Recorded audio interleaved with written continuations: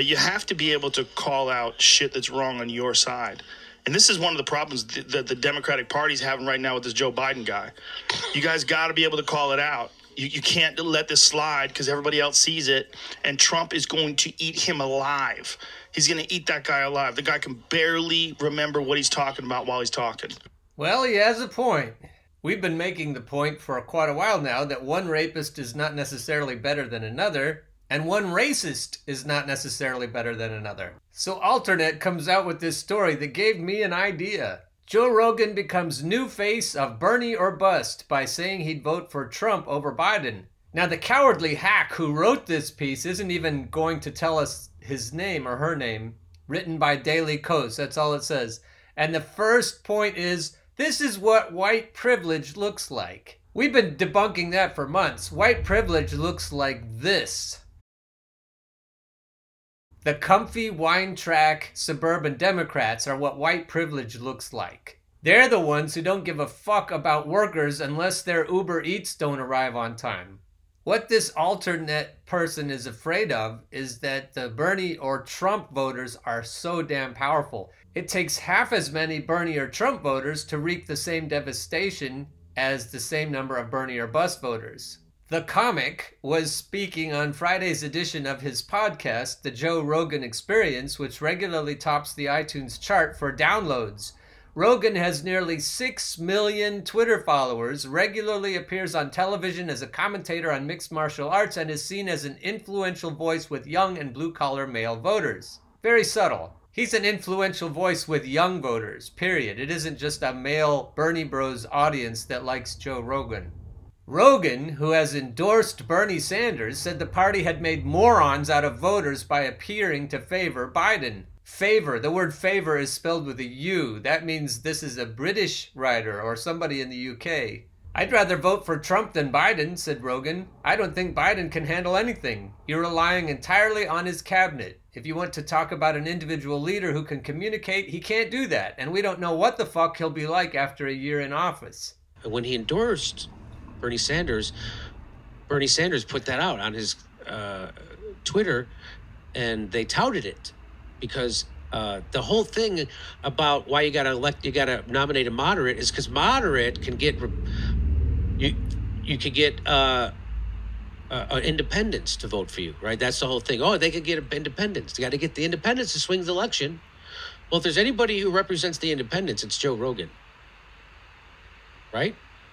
And his audience, right? And so here's what he said about uh, Joe Biden. This is the real issue with the Democratic Party. They've essentially made us all morons. Yeah. With this Joe Biden thing, they really have. They you made us all morons. Who do we need? I mean, can, who, I can't of- vote for that guy. I can't vote for him. I can't vote for him. I can't vote for Trump. There, I would, I'd rather vote for Trump than him.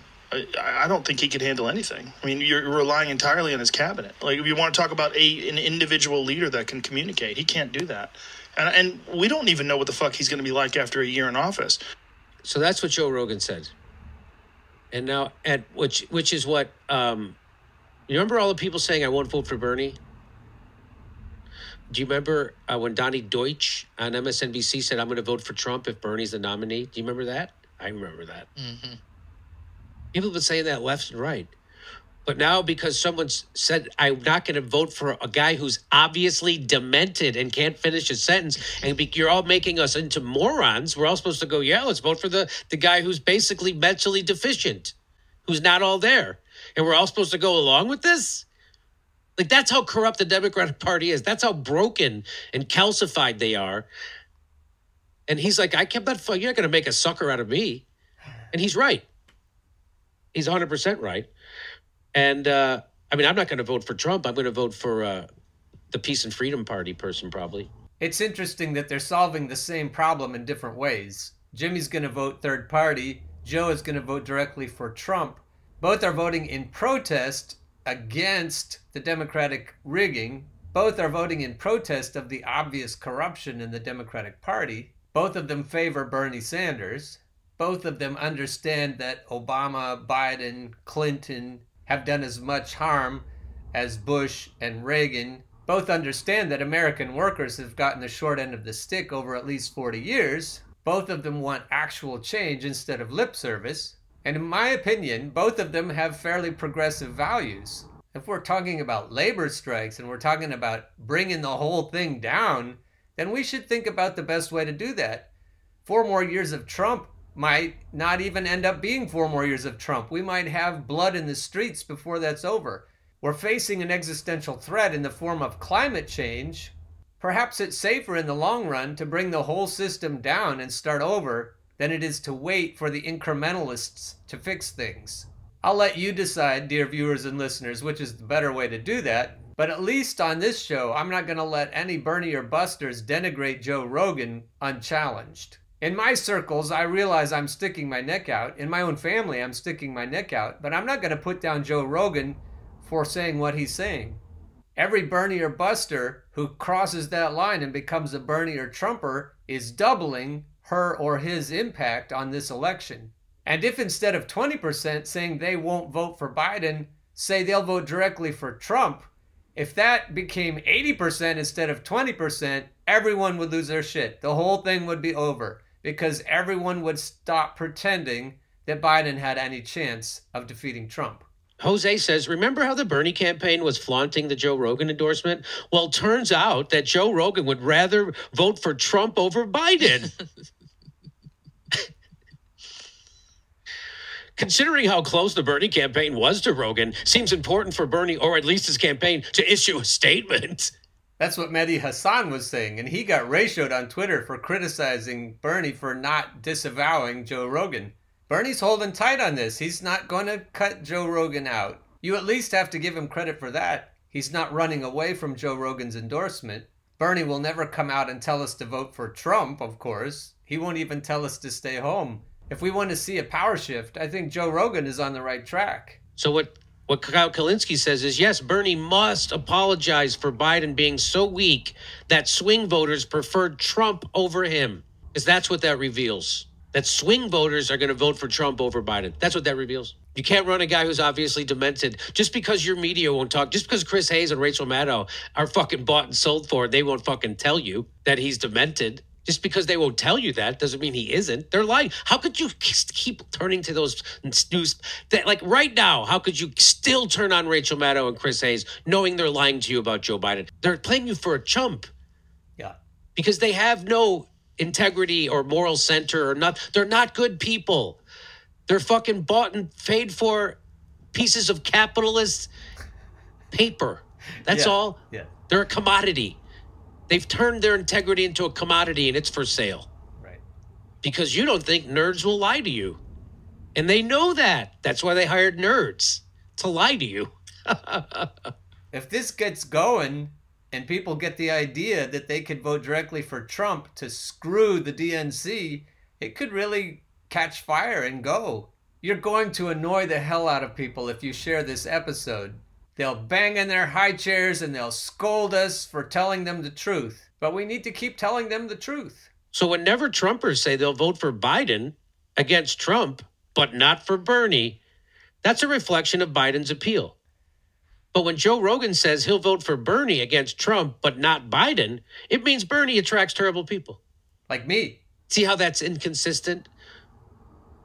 And the inconsistent logic favors the establishment once again? Get in line. Get in line. Ryan Grim says the question of touting Rogan aside, he didn't handle it well. That Rogan now supports Trump over Biden is exactly the point Bernie was making. Bernie said he was the one who could uniquely flip people from barbarism to socialism. So this makes his point. It doesn't refute it. Perfectly said by Ryan Grim. Here's Joe Biden. Oh.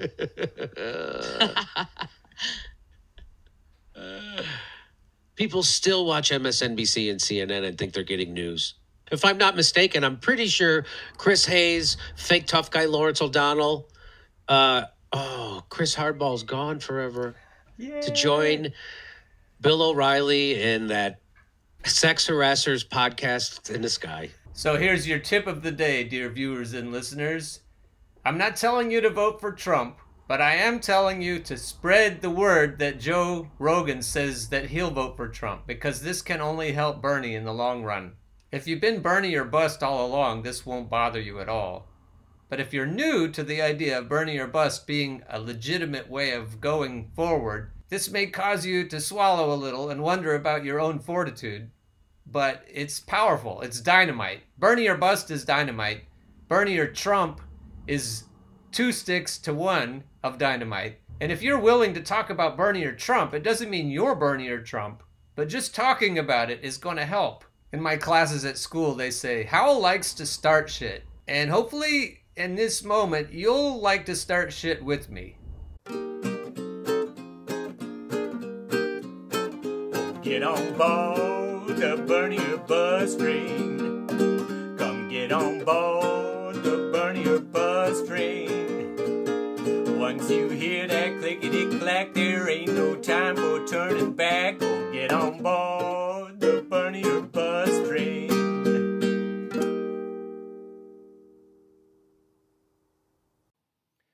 The preceding episode can be viewed on the YouTube channel Bernie or Bust Television.